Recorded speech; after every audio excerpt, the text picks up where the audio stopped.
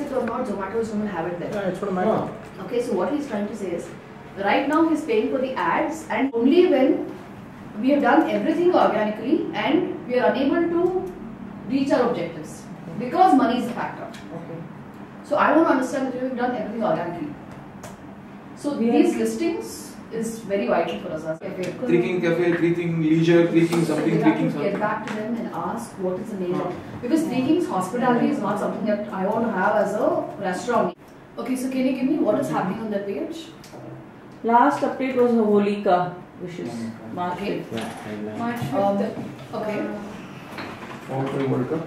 I say. So let's say that was the last update, but what exactly are they updating? What is it that they're talking about? Bangalore nightlife party. or something.